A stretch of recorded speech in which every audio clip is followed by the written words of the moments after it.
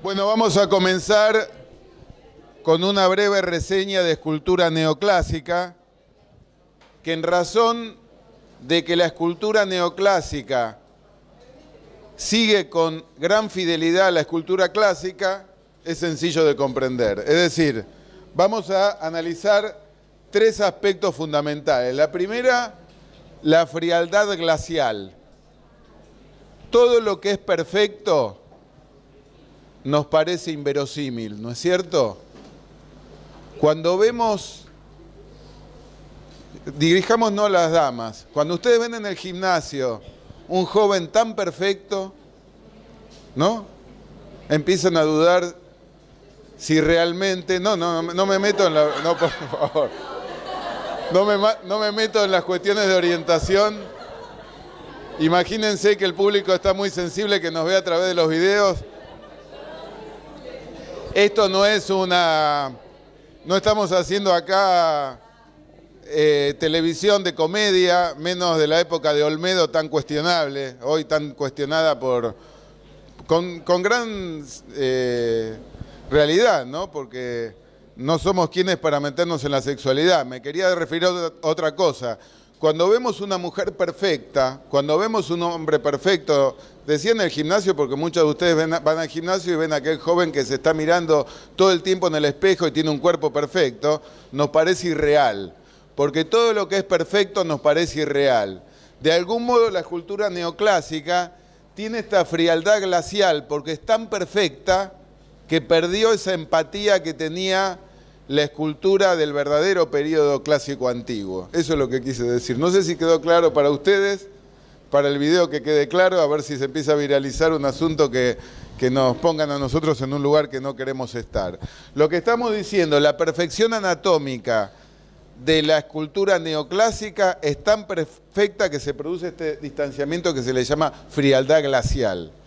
También hay otra realidad, que cuando vemos una escultura neoclásica, mitológica, la realizó un escultor dos mil y pico de años después de cuando la religión era la mitología griega. Pasaron siglos de cristianismo. Entonces, poco convencimiento tiene un escultor neoclásico de tallar una divinidad griega cuando han pasado siglos de cristianismo. Entonces, no se siente esa misma devoción que sentía el hombre griego de la antigüedad. Por eso se da la frialdad glacial, que ahora con imágenes la vamos a ver bien. La otra cuestión es el perfeccionismo técnico, que también con la revolución industrial, con la evolución técnica en el arte de la escultura, hay determinadas técnicas como la máquina de sacar puntos que nos permite modelar en arcilla una escultura y después pasarla al mármol sin los peligros de la talla directa, que si nos equivocamos no hay vuelta atrás de manera tal que se domina un perfeccionismo técnico. Entonces, y, la tercera característica es que los temas, al estar vinculados a la antigüedad clásica, hay una distancia de siglos respecto a la realidad del siglo XIX y del fin del siglo XVIII. Entonces, vamos a caracterizar, primer punto, hablamos de la frialdad glacial, que se da porque quienes tallaron estos personajes mitológicos en este caso Thorvaldsen, vivió más de dos mil años después de la mitología, de cuando se creía en este tipo de religión. Segunda cuestión, había una intención de transmitir la imagen de lo eterno. Lo eterno es frío, porque si lo eterno tendría expresión de sentimiento, no sería eterno, porque todos nuestros sentimientos son efímeros. Cuando transmitimos emociones, estamos transmitiendo nuestro carácter limitado y efímero, porque los sentimientos son pasajeros. Entonces la eternidad se representaba a través de lo inexpresivo. Por eso se habla de frialdad neoclásica. ¿No es cierto? La eternidad parece fría. Es más, alguien en sentido humorístico llegó a decir que el cielo le parece un lugar frío donde hay seres perfectos y donde hay poco margen para la transgresión y para eh, la informalidad. ¿no? Entonces esta es la imagen, este primer punto de la frialdad glacial tiene que ver con esa sensación de eternidad y que los personajes mitológicos fueron tallados siglos después, cuando ya la mitología estaba muy alejada de la devoción que podía tener el hombre antiguo. ¿Quedó claro? Bueno, porque nos salió medio un sketch humorístico fallido, porque tampoco tengo habilidad para, hacer humor. Es más difícil que dar clase, hacer buen humor, imagínense. Bueno, primer punto, frialdad glacial. Eh, fíjense el segundo punto que está muy conectado con el primero, el perfeccionismo técnico. Cuando una obra es perfecta, también, por suerte este video es imperfecto, ¿no? porque ahí se nos fue de marco. Cuando una obra es perfecta, también se produce ese distanciamiento que les decía. ¿no?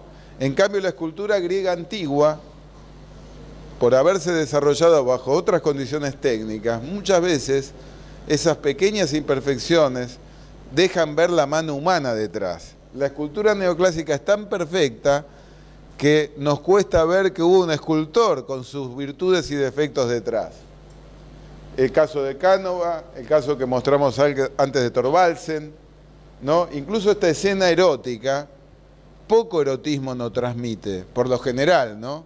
Cada uno puede tener su sensibilidad particular, cada uno de ustedes una obra de arte le transmite una sensación distinta, pero en general yo lo que les transmito es lo que hay convención en la historia del arte. Se dice que la escultura neoclásica, su perfección, no transmite la calidez que tiene, que debería tener quien puede ver a través de la obra la mano humana. ¿no? El pulido de sus formas, se prefiere el mármol blanco, perfecto, ¿no?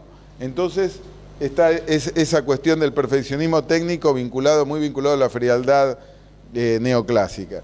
El, último punto que les quería señalar, los principales temas que tiene la escultura neoclásica, que cuando hablamos de mitología suelen predominar los temas de cierta violencia, tal vez porque muchas de estas esculturas fueron realizadas durante la época revolucionaria, ¿no? pero vamos a ver que dentro de los episodios mitológicos que el escultor selecciona, encontramos hechos de violencia.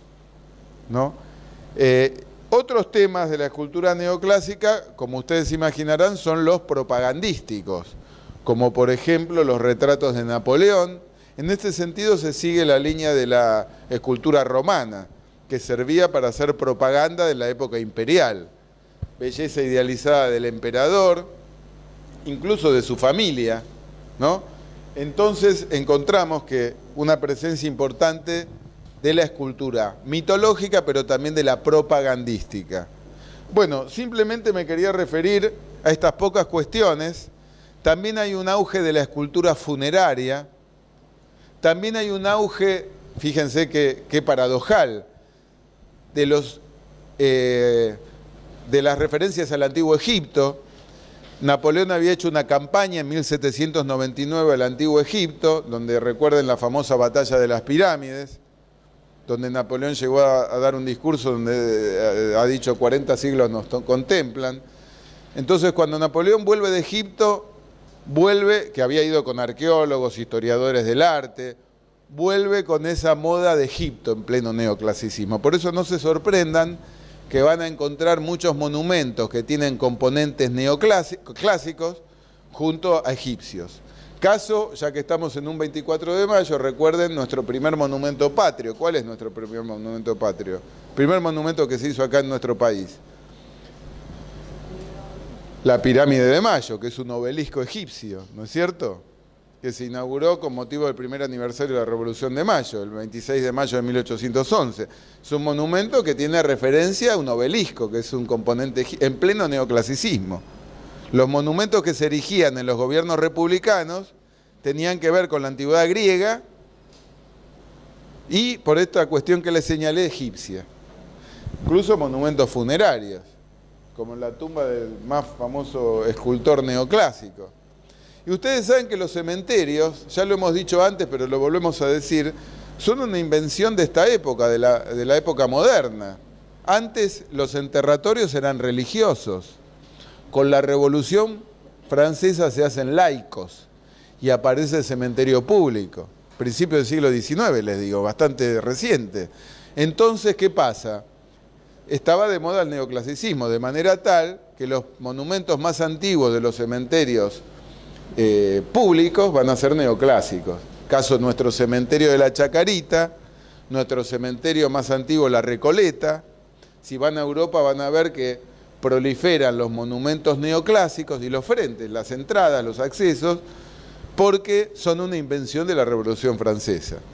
Bueno, esto es lo que quería decir de, escultura neoclásica, estas pocas cuestiones, para ahora abordar pintura.